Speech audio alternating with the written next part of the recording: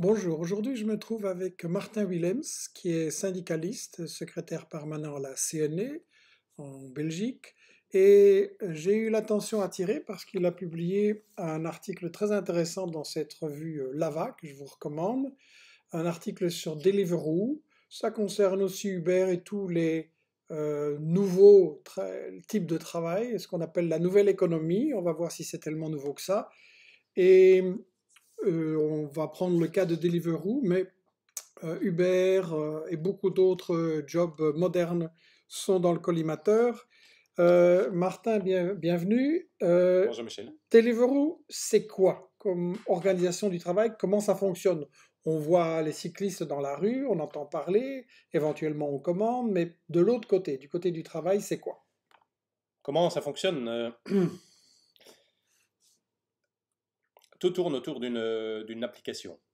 Mmh Alors, ceux qui se. Donc, Deliveroo recrutent euh, constamment des, livreurs. Bon, d'abord, hein, Deliveroo est une.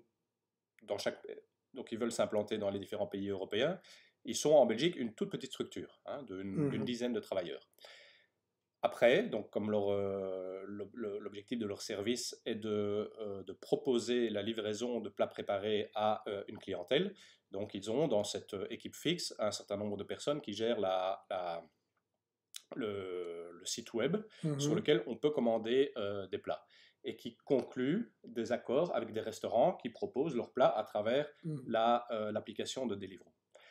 Ce qu'il faut, évidemment, après, ce sont des coursiers, des livreurs qui mmh vont chercher ces plats lorsqu'il y a une commande, qui vont chercher ces plats au restaurant et les livrent chez des, les clients.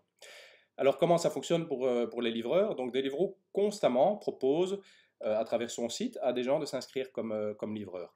L'inscription est assez rapide, hein. il, y a, bon, une, il y a quand même une sélection parce que comme il y a eu des, des actions, de la contestation, ceux qui ont participé aux contestations aujourd'hui ne peuvent plus travailler pour Deliveroo, mais tout ça n'est pas ah non dit. Mais en tout cas, lorsqu'ils essayent de se réinscrire, ils sont comme par hasard soit refusés, soit euh, ils ne reçoivent jamais de réponse. Mais pour euh, la mmh plupart des personnes qui veulent s'inscrire, ils s'inscrivent, on leur demande un jour de passer avec leur vélo pour vérifier quand même qu'ils euh, en ont un et qu'il est plus ou moins bien équipé.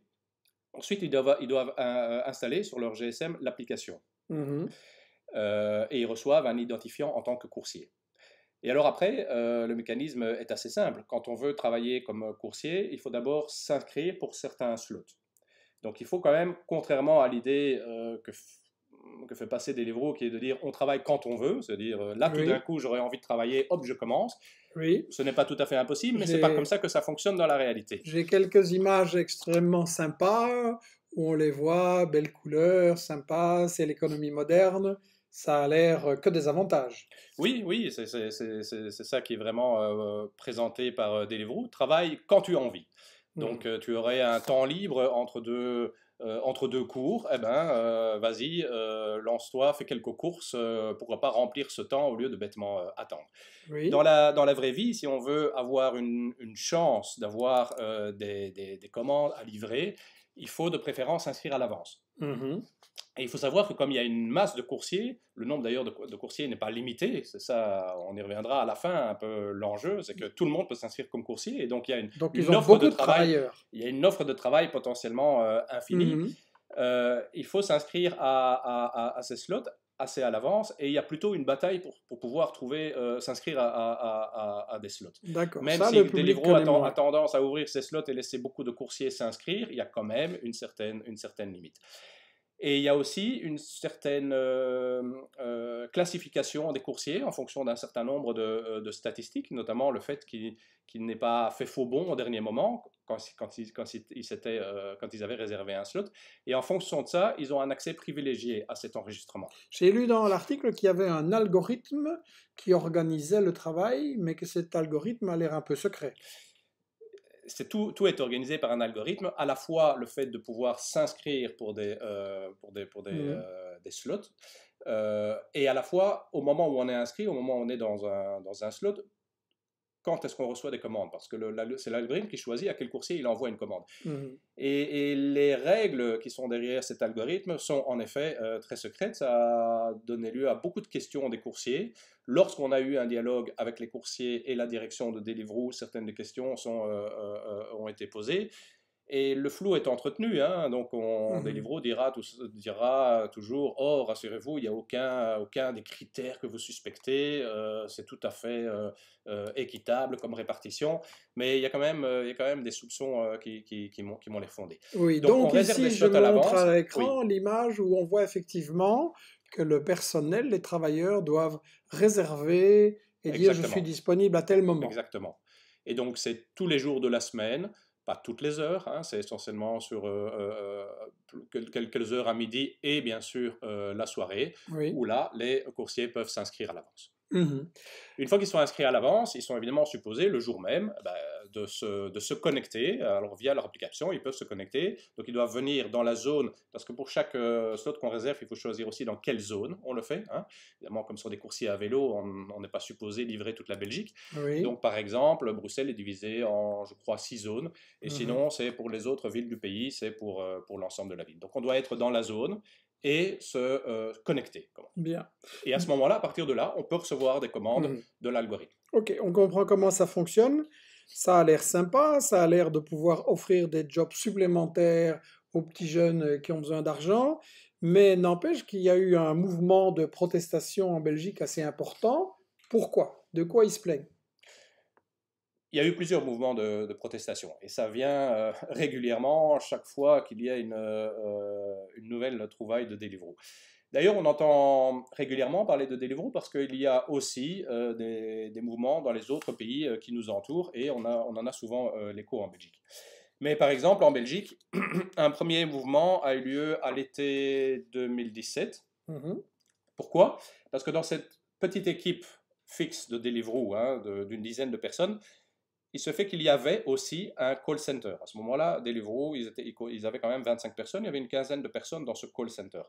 Et ce call center, c'était quoi? C'était euh, lorsque le coursier Bon, parce que finalement, après, dans sa course, il est tout à fait euh, seul. Hein. donc, il reçoit la commande de l'algorithme. La, de il est supposé aller au restaurant. Au restaurant, il donne le numéro de sa commande. Il reçoit la commande. À ce moment-là, il reçoit l'adresse. Et seulement à ce moment-là, il reçoit l'adresse du client qui doit livrer. Et puis, il ne sait pas à l'avance où il devra aller. Il ne sait pas à l'avance. Euh, il y a eu certaines évolutions, mais euh, mmh normalement, il ne sait pas à l'avance. Euh, il va livrer le client. Bon, aussi, surprise, est-ce que le client est là Et lorsqu'il l'a livré, il revient au centre de la zone attendre la commande suivante. Dans ce processus, il peut arriver des tas d'embrouilles. Mmh. Euh, il peut arriver au restaurant et là, le restaurant euh, n'est pas du tout prêt. Enfin, ça, il y a toujours un temps d'attente, mais le restaurant peut aussi dire ah ben non, cette commande, je ne saurais pas la faire. Il peut arriver chez le client et euh, ne pas trouver le client. Le client a un problème quelconque. Il peut avoir un problème sur la route, évidemment. Mmh Lorsqu'il a un problème, il, devait appeler le, il doit appeler le, le call center, expliquer le problème, essayer de trouver une solution. Ce call center était en Belgique. Et en juillet 2017, euh, Deliveroo a décidé de le délocaliser à Madagascar. Ah Or, il faut bien comprendre que pour les coursiers, que ce call center était finalement le seul lien humain qu'ils avaient avec Deliveroo. Ils connaissaient les gens de call center. en cas de problème. Et les, gens de Madagascar, forcément, ne connaissent pas bien les problèmes de Scarbeck ou d'Anderlecht. Exactement. Et donc, euh, ils connaissaient ces gens. Et donc, savoir tout d'un coup que c'est ce qui devrait téléphoner mm. à Madagascar et que c'est à Madagascar qui devrait dire tiens, euh, euh, j'ai un petit problème entre euh, la rue Intel et la rue Intel, et que c'est quelqu'un à l'autre bout de la Terre qui devrait, euh, qui devrait imaginer et trouver une solution, c'était difficile à, à, mmh. accepter pour eux. Et donc à ce moment-là, il y a eu un premier rassemblement et des, premières, des premiers regrets exprimés autour de Deliveroo. Pour comprendre une chose, les jeunes qui travaillent pour Deliveroo, ils ont quel statut J'ai lu qu'à un moment donné, ils étaient euh, salariés auprès de quelque chose qui en Belgique s'appelle la SMART, qui est un organisme qui syndique les artistes intermittents, enfin qui organise, qui salarie les artistes intermittents, qui les aide par rapport à leurs patrons qui sont divers. Les gens de Deliveroo étaient à SMART et puis ils n'y sont plus. Et quel est leur statut? ça, quel est ça, ça a été le, la deuxième grande occasion d'une euh, révolte vraiment euh, des coursiers qui s'est jouée entre le mois d'octobre-novembre 2017 et le mois de février 2018. Pourquoi? Parce que jusque octobre, novembre 2017, la plupart des coursiers, lorsqu'ils travaillaient pour Deliveroo, travaillaient via Smart. Alors mmh. via Smart, oui, Smart, c'est un... Euh, dans la relation de travail, c'est une sorte d'intermédiaire et il propose de, faire, ce que propose de faire Smart, c'est transformer une euh, prestation de type indépendant. Donc j'ai trouvé euh, quelqu'un pour lequel je peux faire un, un travail qui lui s'attend à recevoir une facture et la payer. Je peux le transformer en un contrat de travail à durée limitée. Avoir les avantages d'être un salarié, la protection d'être un salarié. Voilà. C'est le travail que se fait Smart. Donc, quand j'ai trouvé ce travail auprès d'un client, je viens chez Smart. Euh, ça sera Smart qui va facturer le client une fois que le travail sera fait. Mhm. Et puis, Smart va, me, va conclure un, contrat de travail de durée limitée en fonction du, du, montant de la, euh, de la prestation. Euh, et, et, donc, Mmh l'emballer comme, euh, comme il faut, retirer euh, la contribution à la sécurité sociale euh, et aux impôts et me payer, me payer le salaire net. Ça a l'avantage que je suis dans les liens d'un contrat de travail pour la prestation que je fais. Mmh Ça avait cet avantage Bon, ce n'est pas idéal non plus. Hein. Ce n'est pas idéal. Pourquoi? Parce que c'est du travail intermittent. Smart, évidemment, ne trouve pas le travail. Il faut le trouver soi-même. Ne donne bien sûr aucune garantie de volume de travail. Euh, ce sont des contrats à durée euh, tout à fait déterminée, donc il n'y a aucune sécurité, euh, sécurité d'emploi. Mais au moins, pendant que je travaille, je suis dans les liens d'un contrat de travail et donc ça applique le droit du travail. Ça avait comme conséquence que pendant que je travaillais pour Deliveroo via Smart, je devais être payé par heure, parce que quand on est dans un contrat de travail, on doit être payé par heure. Oui. Et ça avait un avantage très important aussi pour les, euh, pour les coursiers, on peut imaginer, vu le type de travail, d'être couvert par une, une, assurance accident du travail. Et pas n'importe quelle assurance, mais l'assurance qu'on appelle l'assurance loi, l'assurance euh, que la loi oblige tout employeur à souscrire pour couvrir ses travailleurs. Euh, et puisque juridiquement ils étaient travailleurs de la SMART, que SMART devait, devait, souscrire pour couvrir les coursiers. Oui, creusons un peu un instant ça, parce hein. que quand on circule en voiture ou autrement à Bruxelles, on voit ces vélos, on sait que la situation, la circulation des vélos, c'est toujours dangereux. Donc, s'il arrive un accident grave à un coursier, est-ce qu'il est protégé?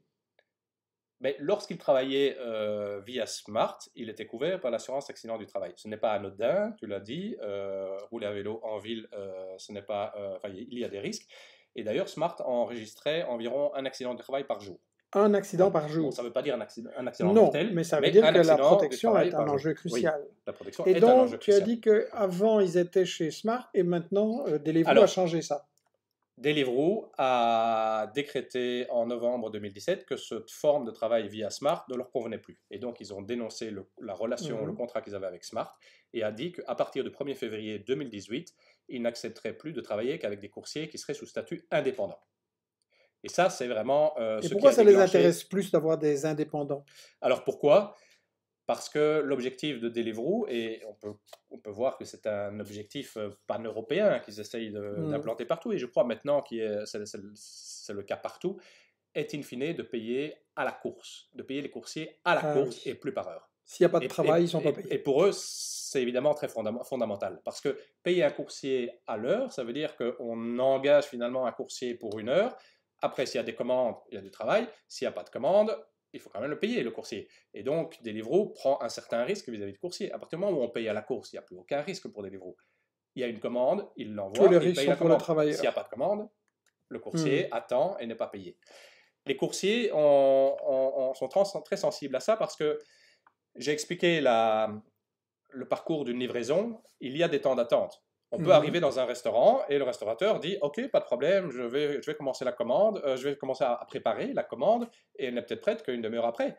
Euh, chez certains, elle est prête tout de suite, chez d'autres, euh, elle est prête une demi-heure après. Et ce temps où le coursier doit attendre que la commande soit prête, ben, il n'est plus payé. Il était payé quand ils étaient payés à l'heure, il n'est plus payé quand ils sont payés à la course. Même mhm. chose s'ils arrivent chez le. Bon, même chose s'il a si la course vers le client est plus ou moins longue, hein, il y a des courses qui peuvent prendre 500 mètres, il y en a qui peuvent prendre 5 euh, km, évidemment. Pas Donc, pour employer un gros mot, c'est une exploitation du travailleur beaucoup plus forte. Alors évidemment, tout est question de prix. S'il recevait un prix à la course très important, bon, ça pourrait l'un dans l'autre, ça pourrait compenser. Mais il gagne combien à la course? Alors, au moment du, euh, du changement, Deliveroo a annoncé euh, un prix qui était de 5 euros par course, mmh avec une petite différence que ceux qui étaient sous statut indépendant à titre principal, et donc pas indépendant sous statut étudiant, donc ceux qui sont à titre principal devant payer des cotisations sociales plus importantes, étaient payés 7,50 euros. Alors évidemment, et tout le monde pouvait le, craindre, ça a évolué très vite. Après quelques mois, euh, Deliveroo a dit c'est fini les 7,50 euros, c'est 5 euros par course pour tout le monde. Et aujourd'hui, ils sont encore passés à un nouveau système où la base, c'est 3 euros par commande, plus un supplément. Un supplément qui dépend, et là, de nouveau, de facteurs qui, sont pas, qui, qui, euh, qui ne sont pas très clairs. Euh, qui, sont supposés dépendre de la distance euh, que doit parcourir le coursier jusque chez le client, mais qui mmh dépendent aussi d'autres facteurs, et mmh notamment de la demande. Et une des craintes qu'on nourrissait dès le début, c'est qu'on arrive vers un prix à la course variable qui soit le résultat d'une certaine équation entre l'offre et la demande. Oui. Alors, on, a, on va voir que les jeunes de Deliveroo ne se sont pas du tout euh, laissés faire, puisqu'il y a eu des actions importantes. J'ai montré une affiche ici. Il y a eu une autre action en Belgique, euh, respecte, euh, nous sommes des travailleurs, nous ne sommes pas des Playmobil, euh, très sympa. Une protestation à Liège, dans un lieu central que les Liégeois reconnaîtront. et donc, ça devient Sleveroo, non au travail précaire. Apparemment, le, la direction de Deliveroo ne se caractérise pas par son sens du dialogue. Ils ne sont pas très ouverts c'est pas bien. attention, hein, Deliveroo, c'est euh, la coolitude absolue. Donc, euh, lorsqu'on a demandé à. Donc, les, coursiers se sont rassemblés, ils ont fait un travail de, formalisation de leur euh, demande sous forme d'un cahier de revendications, un certain nombre de revendications très mhm. claires, notamment d'être payé. pas nécessairement à l'heure, mais au moins d'avoir un minimum horaire. Mhm. Donc, ils voulaient bien être payés à la course, mais pour autant qu'il y ait un minimum garanti par heure et aussi de, créer un dialogue euh, social entre les coursiers et Deliveroo. Mmh. Ce qui est aussi un enjeu très idéologique pour Deliveroo. Deliveroo, ce qu'ils ont toujours voulu, c'est non seulement payer à la course, mais aussi ne jamais reconnaître les coursiers comme étant leurs travailleurs. Oui. Et là, c'est très ambigu, parce que quand on, voit sur leur site ou dans leur communication, ils parlent bien de leurs coursiers. Quand un coursier se présente dans un restaurant ou chez un client, c'est bien le coursier de Deliveroo. Mais Deliveroo, sur le principe, ne veut pas se reconnaître comme étant leur employeur et donc d'avoir la moindre responsabilité vis-à-vis vis-à-vis de mmh. ces gens. Donc on a formalisé les, revendications, euh, on a demandé euh, des rendez-vous avec la direction de Deliveroo qui est venue, euh, je peux vous le dire bien volontiers, qui a écouté avec beaucoup de bienveillance Sauf qu'on a vu très bien qu'après quelques réunions, voilà, il ne faisait qu'écouter en disant chaque fois on va y réfléchir, on va y réfléchir, mais ça ne débouchait sur rien. Mmh Et donc après, les, les, les, protestations se sont faites un petit peu plus, euh, un peu plus euh, exigeantes avec des mouvements de, grève, de grève. de grève des actions assez fortes, comme on voit sur les images, oui. Et ça a culminé à la fin du mois de janvier par une occupation du site de, de Deliveroo, qui a duré, qui a duré trois jours. C'est l'image qu'on voit là? C'est l'image qu'on voit là et on reconnaît euh, tout en bas dans l'ombre la moitié du visage d'un syndicaliste euh, qui vient de parler. Et, effectivement. un collègue d'une autre centrale, le Transcom, hein, qui est la centrale des transports, hein, puisqu'on parle ici de coursiers, euh, c'est un petit peu entre, les, entre les services et le transport. Mmh euh, ça a quand même permis de, à ce que le ministère du Travail nomme un médiateur social. Et donc, on a eu de nouveau un de second round de, de discussion avec Deliveroo, mais qui n'a qui pas non plus donné satisfaction. Ils sont restés vraiment. Donc, on a proposé à ce moment-là des différentes solutions qui permettaient, tout en restant dans le, sous le principe d'un contrat de travail, qui permettait quand même d'offrir la flexibilité que voulait Deliveroo.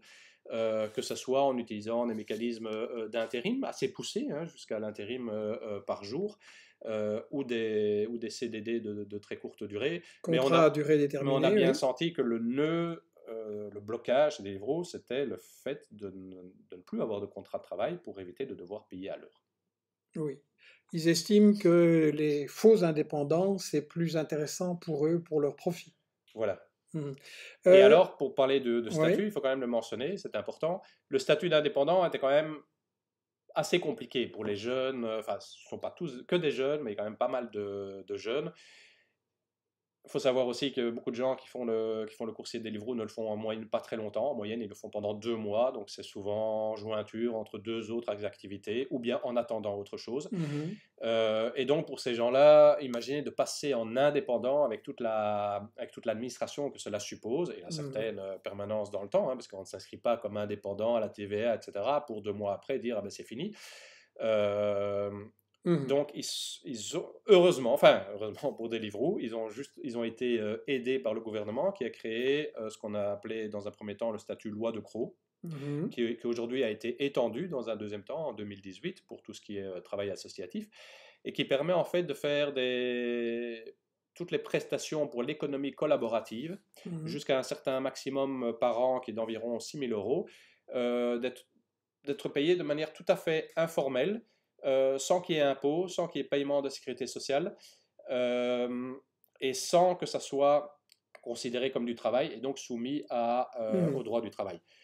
Alors, cette loi, elle est magnifique pour Deliveroo, parce que c'est vraiment créer un cadre législatif pour cette manière de, de, travail tout à fait informelle et tout à fait occasionnelle.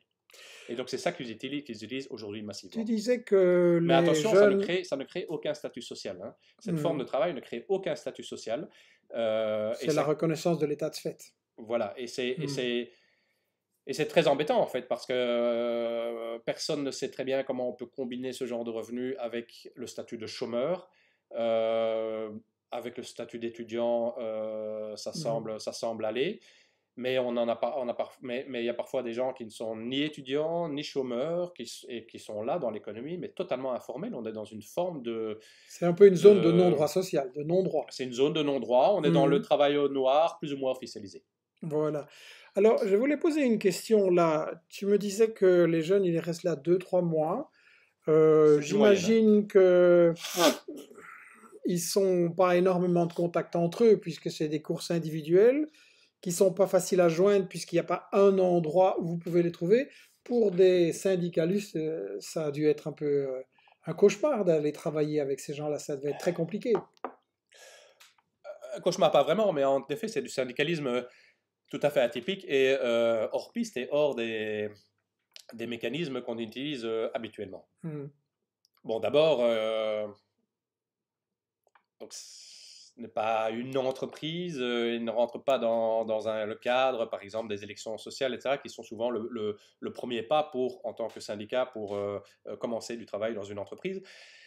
mais on les a vus se développer comme, comme tout le monde. Hein. Mmh et on a eu des contacts avec certains coursiers qui avaient pris l'initiative de s'organiser eux-mêmes. Un petit noyau hein, qui s'appelle le collectif des coursiers. Mais Bon, il y a eu des contacts hein, dans le monde euh, militant euh, euh, de l'activisme. Il y a eu des contacts, ils ont demandé des, conseils. Mmh Et nous, en tant qu'organisation syndicale, on s'est dit qu'on devait, qu'on devait travailler avec eux de manière inconditionnelle et donc leur proposer notre support pour différentes raisons. Parce qu'il est évidemment dans que cette forme de travail, si elle, elle doit être, euh, elle, doit être encadrée. On ne peut pas accepter cette forme de travail et on ne peut pas accepter encore moins qu'elle euh, qu'elle fasse des petits et qu'elle devienne, qu'elle devienne à terme la norme. Parce que finalement, mettre en plateforme une activité, on pourrait l'imaginer même dans une entreprise tout à fait traditionnelle. Hein. S'il suffit d'avoir analyser ça. et une application pour faire faire du travail, pourquoi pas le faire dans une mmh. usine habituelle on va, on va voir, je regarde si nous avons des questions de, des gens qui nous suivent. très bien, des encouragements, oui. Euh, bravo pour l'interview d'hier sur le média, merci. on est dans la juste ligne du capitalisme poussé à son extrême. En gros, demande Christine, 4 à 6 euros par heure aux meilleures heures. C'est ça? On peut résumer comme ça? Alors, Évidemment, euh, il n'y a aucune garantie. C'est, euh, on peut dire, j'ai dit un minimum de 3 euros par commande. Il faut ajouter à ça un, un, un, petit, un petit, surplus pour, la, pour le, le, déplacement. Donc on est bien à 4-5 euros par, euh, par commande. Mais mmh combien de commandes est-ce qu'on a par heure? Et ça, tout dépend de, de l'algorithme. Tout dépend aussi de la durée de, de chaque commande. Alors lorsqu'ils sont, ont changé de système, Deliveroo, évidemment, l'a présenté de manière positive en disant oui, mais vous serez plus payé comme si, euh, comme si euh, on s'imaginait que Deliveroo changeait de système pour payer plus ses travailleurs. C'est un petit peu mmh euh, aberrant en disant vous aurez trois, trois commandes par, par heure. C'est possible ça de faire trois commandes C'est possible, ça peut arriver. Mmh Mais c'est rare, il faut de la chance, il faut que l'algorithme vous donne des commandes et il faut aussi que les commandes ne soient pas soient, soient très courtes. et on remarque aujourd'hui aussi parce que on passe dans un système, je l'ai dit, plus ou moins de l'offre et de la demande, et donc le nombre de coursiers disponibles ne fait qu'augmenter. Et donc les commandes, qui elles n'augmentent pas nécessairement, sont réparties en fonction du nombre de coursiers qui est disponible à ce moment-là, dans un nombre plus, plus ou moins important. On va, venir, on va venir dans un instant à ce thème de la... pour savoir combien de, commandes par heure, les échos que mmh. j'ai aujourd'hui, c'est certains se plaignent en disant que voilà, ils ont travaillé pendant deux heures, et ils ont eu deux commandes. D'accord. Mais attention, hein, certains qui sont qui choisissent bien, parce qu'il y en a qui développent des, stratégies évidemment, ceux qui choisissent bien leur créneau en se disant, en, sachant les créneaux et les endroits où il y a le plus de commandes, qui essayent de choisir aussi, euh, parce qu'on peut refuser aussi une commande, mais de choisir les commandes qui suspectent que les, les, plus courtes et les plus rapides peuvent monter à du 2, 3, parfois 4 commandes euh, par heure. Mais mmh. c'est certainement pas une généralité et on peut certainement pas dire qu'on peut, qu'on peut faire ça sur un temps long. D'accord. Alors, au niveau du, euh, de l'exploitation. Ici, euh, un petit moment pour se détendre entre euh, deux euh, témoignages assez horribles. Les pizzas disparues, vu mes 4 euros de l'heure, ou 5 on va dire, je préfère nourrir ma famille une semaine. Donc voilà, pour rigoler, il emporte les pizzas et il ne les livre pas. Bien, c'est quelque chose qu'on trouve chez Deliveroo en Belgique, et donc ça ne serait pas en Europe, mais c'est un mode de travail qui concerne aussi Uber, euh, les taxis. Et donc là, on a une euh, euh, protestation de syndicats anglais, Uber, l'esclavage des temps modernes. Et donc c'est un, un, type de travail qui se généralise. Et pourquoi est-ce que c'est dangereux justement par rapport au à l'ensemble du monde du travail, c'est pas un truc marginal qui va toujours rester marginal? Ben, Je ne vois pas pourquoi. Parce qu'en fait, réfléchissons à ces activités, autant celles de Deliveroo que celles d'Uber. Ce ne sont mmh. pas des activités qui sont nouvelles en soi. Dire, livrer des plats préparés, euh, ça existe depuis que je suis né. Mmh euh, enfin, et sans doute bien avant. Euh, un service de taxi, ça existe depuis toujours. Or, quelqu'un a trouvé une manière qui a son intérêt, hein, le fait de pouvoir présenter euh, euh, le service via un site web, ça a sûrement euh, des aspects très pratiques. Le présenter via un site web, mais voilà, il rajoute une certaine originalité dans la présentation du service mm. et la facilité pour le commander, mais pas dans le service lui-même. Mm. Or, cette évolution, on pourrait très bien imaginer qu'elle se fasse dans d'autres secteurs tout aussi, tout aussi traditionnels. Mm. Pourquoi est-ce que le travail... Excusez-moi, j'ai une petite allergie. Ah oui, c'est la saison. Pourquoi est-ce que le, on ne pourrait pas imaginer que le travail d'un, je ne sais pas, prenons une entreprise de la construction. Pourquoi est-ce qu'on ne pourrait pas imaginer que le, l'entrepreneur, le chef de travaux, euh, ait une petite application et euh, décide, en fonction des commandes, des demandes, de, d'appeler ses, ses, ses, travailleurs à la journée Et alors, il enverrait via une application euh, le matin en disant Ah, aujourd'hui, il y a du travail. Finalement, c'est une, c'est une manière électronique de le faire, mais on retrouve un petit peu le, le travail comme, comme il a existé, euh, je n'étais mmh. pas, pas présent, mais euh, euh, au 19e siècle, où les travailleurs venaient au gris de l'usine le matin, et puis là, le patron disait, j'ai besoin de autant de travailleurs, et je les choisis, et j'en fais rentrer ceux que j'ai besoin, et les autres revenaient demain. Oui. Alors justement, la flexibilité maximum, on en a un exemple ici avec un extrait des, formulaires de, travail de l'application de Deliveroo euh, que tu m'avais envoyé. Et donc, on voit ici que à certaines heures, Deliveroo décide d'ajouter un euro en plus par commande. Pourquoi ils n'ont pas assez de travailleurs à ce moment-là ou... Donc ça, euh, c'est l'évolution qu'on craint depuis le début, dès le moment où ils sont passés à la commande. C'est le fait qu'on en arrive à paiement par commande, mais qui euh, résulterait, enfin dont le prix dont le, résulterait d'une sorte de, euh, de, mécanisme de marché, d'offre et de demande. Ce qu'on voit, c'est que Deliveroo donc, propose à un nombre important de coursiers de se connecter à chaque moment. Mm-hmm. Ils n'ont plus vraiment, évidemment, de, de, limite dans le nombre de coursiers qui peut se limiter à chaque moment, puisque, comme je l'ai expliqué, euh, ils payent par commande. Et donc, s'il y, y, a trop de coursiers, s'il y a deux fois plus de coursiers, ce n'est pas un problème pour Deliveroo, les commandes seront juste divisées dans deux fois plus de, euh, coursiers. Et donc ce qu'on craint, c'est que euh, l'algorithme de Deliveroo fasse à chaque moment euh, une, comparaison entre le nombre de coursiers disponibles et le nombre de commandes qui se présentent. Et en fonction de ce rapport, augmente ou diminue la rémunération à la course. En disant si, j'ai beaucoup de commandes et qu'il n'y a pas beaucoup de coursiers qui sont connectés, je propose des suppléments. Je leur dis, j'annonce, comme, euh, comme sur l'exemple qui vient d'être montré via l'application, qu'il y aura des suppléments, qu'il y aura des, primes euh, par course. En se disant que ça va susciter euh, d'autres coursiers, les amis de ceux qui sont connectés à ce moment-là, à se connecter aussi et à augmenter le nombre de coursiers parce qu'il y a Et donc, alors, ils veulent avoir beaucoup de travailleurs et pouvoir ainsi faire pression pour les payer moins, moins cher. Euh, plus ils ont de coursiers, moins, mmh. moins ils doivent donner d'incitants à prendre les courses. Bien. donc, tu disais que c'est un système que tu crains, qui pourrait se répandre et que c'est un danger pour l'ensemble du monde du travail. C'est un danger pour l'ensemble du monde du travail. Et c'est aussi un danger, et c'est aussi important pour nous, c'est qu'il s'agit beaucoup de jeunes travailleurs et c'est leur première expérience du mmh monde du travail.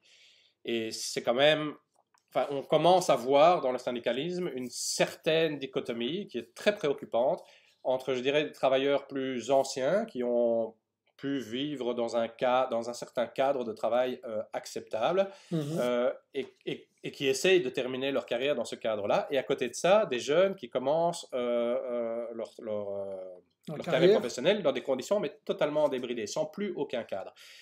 Et c'est quand même un problème parce que vous savez, les premières impressions qu'on a euh, dans le monde du travail, c'est un petit peu, ça devient un peu, la norme pour après. Et s'imaginer qu'il puisse y avoir des travailleurs qui, voilà, qui, disent, voilà, un travail n'implique, on peut travailler en dehors de tout droit, euh, le droit du travail pour lequel le droit du travail n'existe pas, euh, pour lequel la, notion de contrat de travail, la notion de, de CDD et encore moins de CDI n'existe même plus. Euh, c'est très très préoccupant parce que que vont devenir ces travailleurs dans, dans, dans 10 ans? On ne peut pas imaginer, nous, syndicats, que pour, une, euh, pour, la nouvelle génération, tout ce qui a fait le cadre du travail jusqu'à présent soit des concepts tout à fait euh, mmh. ésotériques. Mais donc, cette manière moderne, soi-disant, de, de travailler à la carte, avec un faux statut, en faisant pression sur, pour employer certains travailleurs et jeter les autres, euh, c'est quelque chose qui a déjà existé dans le passé et on en est euh, sorti parce que justement il y a eu la lutte ouvrière, la lutte syndicale à partir des années 30, 40, euh, l'après-guerre, etc. Moi personnellement j'ai travaillé aussi comme ouvrier dans une usine pendant six ans à Liège et la force syndicale était quelque chose de très important. Et dans les grandes usines à Liège, le patron ou les directeurs n'auraient pas osé s'amener dans l'usine et dire ou faire n'importe quoi. Ils faisaient très très attention où ils mettaient les pieds. Quand je vois quelles sont les conditions de travail de la génération de maintenant, c'est vraiment un gouffre, ça a totalement changé. ce que je me dis, c'est qu'au fond, pour empêcher que l'ensemble du monde du travail soit entraîné dans ce basculement négatif, il va falloir avoir besoin de nouveau du syndicalisme. Et le syndicalisme va avoir un rôle très très important à jouer. Mais vous n'avez pas une très bonne image dans la jeunesse. Les médias vous aident pas à présenter le syndicalisme comme une force positive. Comment vous allez faire ça? Bon, on n'a pas une bonne image dans la jeunesse. Euh, je, serais plus nuancé. Euh, on a plutôt une, ignorance de, ce qu'on est. Mmh euh, quand on parle de syndicat aux jeunes, ils connaissent le mot, ils savent que ça existe, mais voilà, ils n'ont jamais été confrontés, ils ne pensent pas que ce soit vraiment quelque chose pour eux, ils ne savent pas vraiment ce que c'est. Ils n'ont pas nécessairement un a priori euh, négatif, mais pas mmh positif non plus. Là où il y a eu euh, des difficultés avec les conseils de Deliveroo, c'est que certains se sont dit, si les syndicats s'intéressent à nous, c'est parce que Deliveroo représente pour eux quelque chose qui ne devrait pas exister. Ah oui. Et dès lors, ils avaient peur. Et dès lors, ils avaient peur que notre action syndicale consiste tout simplement à essayer, par tous les moyens possibles, d'éliminer des livres, mmh. des livres Uber, etc. Or, ils se disent, oui, mais en attendant, c'est quand même une manière pour moi de me procurer un petit peut-être, mais un revenu. Et donc, euh, voilà, je ne voudrais pas juste que ça disparaisse. Et, et là, euh, il, faut pas, il, faut être, euh, il faut être honnête il y a une, quelque chose que rétorque Deliveroo, euh, auquel on doit être attentif. Deliveroo nous dit aussi, vous savez, pour une classe de personnes, hein, et à Bruxelles, c'est par exemple euh, euh, des jeunes qui viennent de quartiers ou d'origine qui, font qu'ils sont discriminés. Les discriminations sur le marché du travail sont une réalité. Mmh ils sont discriminés, n'ont pas nécessairement beaucoup de formation. Et Deliveroo dit, ce travail qu'on leur propose, c'est pour certains, le seul travail auquel ils peuvent prétendre. Et nous, on leur propose. Hmm. Et ces jeunes nous disent aussi, voilà, c'est tout ce qu'on a trouvé. Euh, on envoie des CV euh, ci et là, on n'a jamais de réponse. Ici, on s'inscrit, le lendemain, on commence. Euh, c'est très bien, vous dites que ce n'est pas, que pas un bon travail, mais qu'est-ce que vous me donnez en échange? Et moi, comme syndicaliste, je leur donnerai en échange.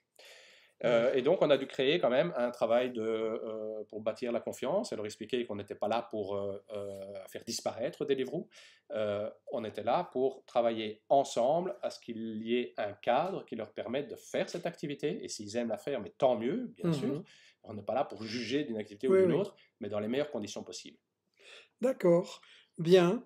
Mais je regarde si on a encore reçu des questions auxquelles répondre. Sinon, on répondra par écrit comme on fait d'habitude. Voilà. Pas de nouvelles questions? Quelqu'un demande s'il y a des différences entre Uber Eats et, et Deliveroo. Ah oui. je peux vous dire que concrètement, dans le statut des, des coursiers, il n'y a pas de différence. là où c'est un petit peu différent, mais c'est takeaway. Takeaway a une partie de ses coursiers qui travaillent sous des contrats euh, de travail. Mais ce n'est qu'une partie, et pour tout ce qui est euh, le surplus de travail, ils font appel Mmh. aussi à ces nouvelles formes de travail. Donc ça, ce serait plutôt un pas en avant pour Deliveroo d'arriver vers ce statut. C'est un petit pas en avant, oui, en effet. Très bien. Eh bien, Martin, un grand merci pour avoir donné ces explications sur quelque chose qu'on voit beaucoup, mais qu'on n'a pas forcément euh, compris de l'intérieur. Et je vais pour ma part euh, prendre congé de vous en vous signalant deux, trois rendez-vous importants. D'abord, c'est la dernière fois que je l'annonce, nous avons à Paris, une, organisée par Investigation Paris, une séance, la médiabolisation des Gilets jaunes, avec un grand débat que j'animerai avec Étienne Chouard, François Boulot, Priscilla Ludowski, euh, Robert Charvin. Avant ça, des ateliers participatifs sur les médias contactez-nous pour assister, pour donner un coup de main, parce que c'est pas mal de boulot euh, concrètement. Euh, nous allons nous quitter. Les prochaines émissions auront lieu euh, normalement avec Farida Arras, la femme, la sœur, excusez-moi, de Ali Arras, qui est un belgo-marocain prisonnier politique et torturé au Maroc. Nous allons, il y a une pièce de théâtre très émouvante qui vient de se jouer ici à Bruxelles et qui pourrait se jouer ailleurs. Nous allons euh, parler de cette affaire euh, qui se déroule euh, au Maroc. Et le 14 mai, là ça va être un peu original comme sujet, on va vous indiquer pourquoi, à notre avis, qu'on aime ou qu'on n'aime pas, c'est bon cette année de boycotter l'Eurovision. Vous vous dites, tiens, on va parler d'Eurovision dans Michel Midi, bizarre, je vous donne un petit indice, Palestine, et je vous dis au revoir et à très bientôt. Merci de nous avoir soutenus.